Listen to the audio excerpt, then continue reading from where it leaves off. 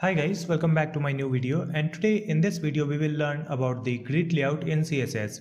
Here I have this folder. In this folder I have index.html file and a style.css file. Let me open these files with text editor. So this is the HTML file. I have added basic HTML structures and this one is the CSS file. I have added margin padding and font family.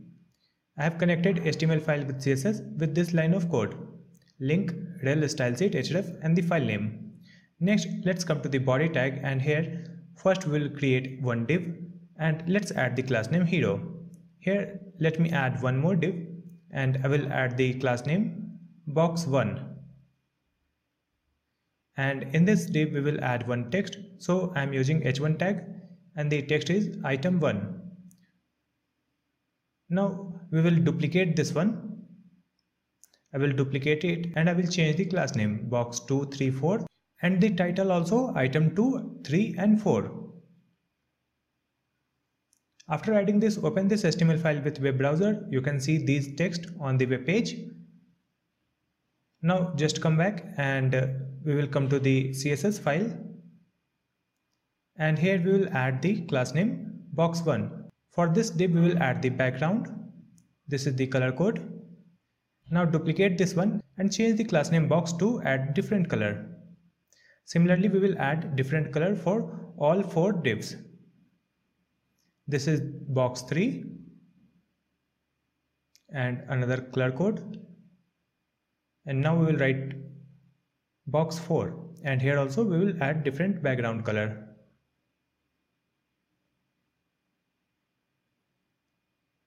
After adding this, just copy the class name hero, write it here and here we will add div. For all this div, we will add the padding 100 pixel. And let's add the title here, h1. For this one, we will write the color white. Here you can see it is coming like this. Right now it is too big so we have to reduce the padding. So let me come back and I will change it to 30 pixel. Now it is looking like this. Next we will see the grid properties. So let's come back and copy the class name hero. For this one we will add display grid. And after that I will write grid template rows auto four times. After adding this, again refresh the website and you can see there is no changes here. I will change it to 200 pixel.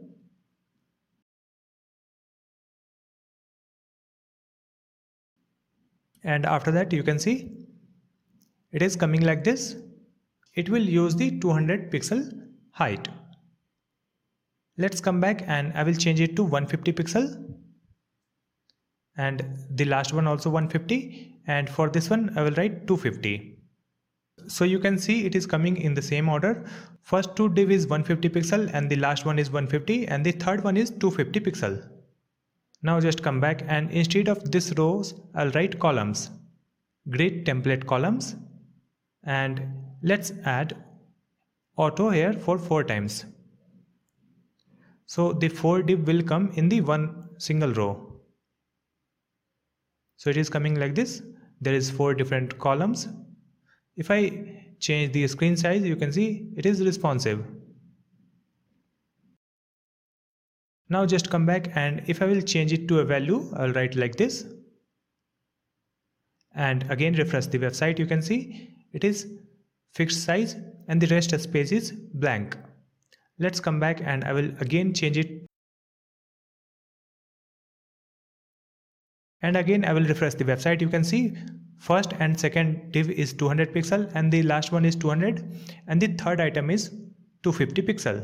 But rest space is empty right now so just come back. And in the last one I will write one fraction fr after adding this you can see the last div is using the entire available space Now just come back, I will add auto. So it will also do the same thing. you can see there is no changes so let's come back I will again change it as one fraction and in the third one I will write two fraction after making these changes just come back and you can see the first and second item is 200 pixel and the rest of the space is divided in three parts and the item 4 is using one part and item 3 is using two part you can see these items are responsive but the first two is fixed for 200 pixel. Now let's come back and here I will write repeat and I will write 4 so it will create 4 columns and I will write the auto. So the column width will be auto. If I refresh the page you can see equal width for all the columns. Now let's come back and if I will change it to 200 pixel you can see all the columns width is 200 pixel. And four columns are coming in one row because we have added four. Let's change it as uh, three. And after that you can see three columns in one row and the other div is going into second row let's come back and change it to 4 and here we will write min max. In this min max i'll write the minimum value 300 pixel. And the maximum it will be one fraction. Like this. Now again I will refresh the website. You can see. It will use the entire space but if I'll reduce the size it will not go less than 300 pixel. If I change it to 200 pixel and if I again refresh the website and change the screen size you can see it will not go less than 200 pixel so we have to make it flexible so let's come back and Instead of this 4, I will write auto fit. If I write like this and refresh the website, you can see it will go up to 200 pixel. After that, it will shift the column in the next row. So you can see it is perfectly responsive right now. Using this grid, we can create a responsive layout easily. So let's come back to the HTML file. I will duplicate all these boxes. I will change the item name 5, 6, 7 and 8. I will change the class name also. So I will change the class name like uh, box 5, 6, 7, 8. So we have total 8 small boxes here. Now let's come back to the CSS and here we will add 1 comma and box 5 so the box 1 and 5 color will be same. Now here we will add box 6 here box 7 and here we will write box 8 so this is how we have added color in all the new boxes.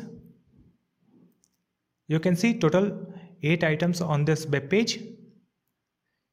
And if I change the screen size you can see it is changing the layout like this.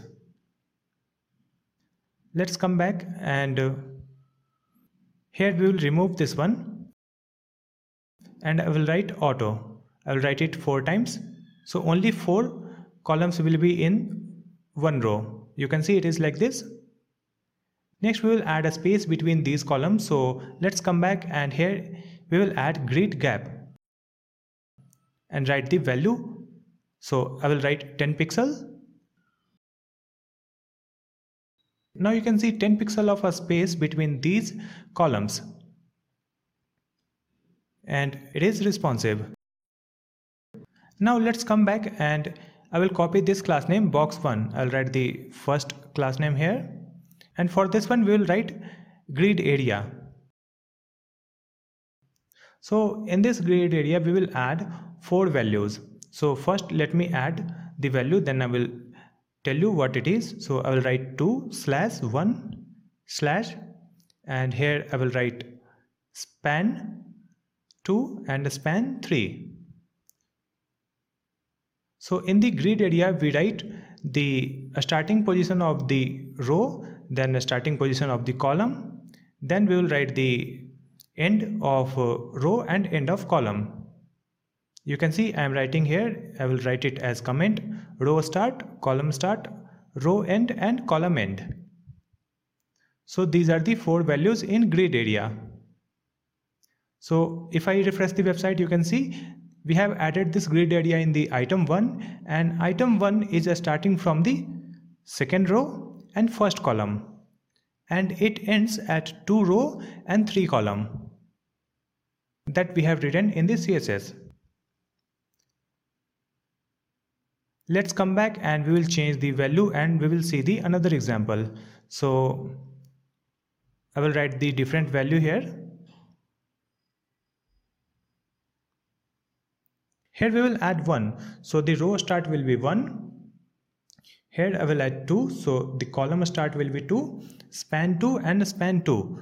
It means the end column will be 2 and end row will be 2. Refresh the website and you can see the item 1 is starting from the second column and first row and end point is 2 column and 2 row. So this is the grid area. So let me remove this one. I will remove it from here also and let me remove this grid template. First here I will write grid auto columns 200 pixel. If I write like this and refresh the website you can see the each column width is 200 pixel and it is coming vertically. Now instead of this columns I'll write rows like this and now I will refresh the website. You can see the column width is 100% uh, and the height is 200 pixel and it is coming vertically Now just come back and here I will write grid auto flow. If you will write the grid auto flow row, so you will see all the divs vertically. And if I will write grid auto flow column, then you will see all the divs horizontally.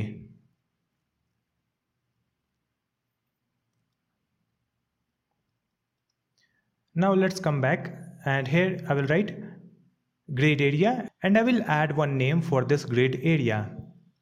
That's it. Now let's come back to the main class name which is hero and here we will write grid template areas. In this grid template areas we will use this name. So just copy this one, add it here. You can see we are writing it in the single quote.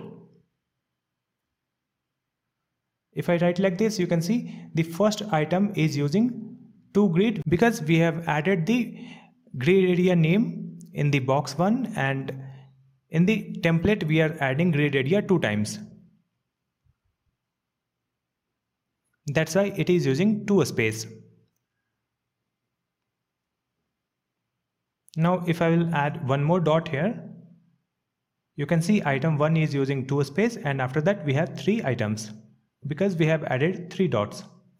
Now let's come back and I will write some more examples here. So I'll write dot over here, remove this dot from the end. Now you can see the item is starting at second position and its width is around two items. Now just come back and I will write it in the other line also and we will add one more class name. Here we will write the box 2. For this box 2 also we will add one grid area and we will add different name for this grid area. So let me add the grid area name my area 2 and in this template we will add my area 2 I will add it two times. Let me add one more dot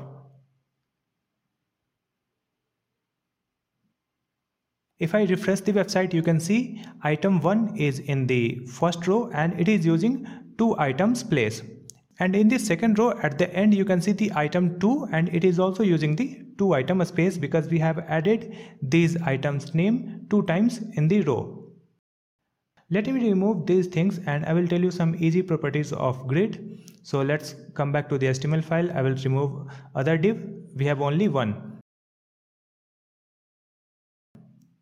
You can see item 1 on this web page. Let's come back to the CSS file. Let's remove the CSS. And here we have only box 1. In this box 1 first we will add the background. So I will add this background color code. Then let's add one height and width for this div. And we will add margin auto and color white. So the text will be in the white color. You can see this text at the corner.